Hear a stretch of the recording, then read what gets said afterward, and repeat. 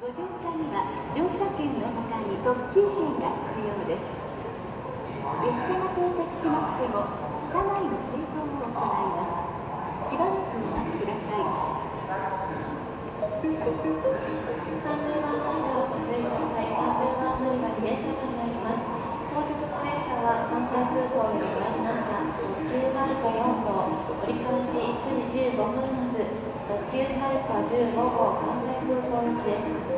京都駅にて折り返し運転を行います。ため車内の清掃及び点検を行います。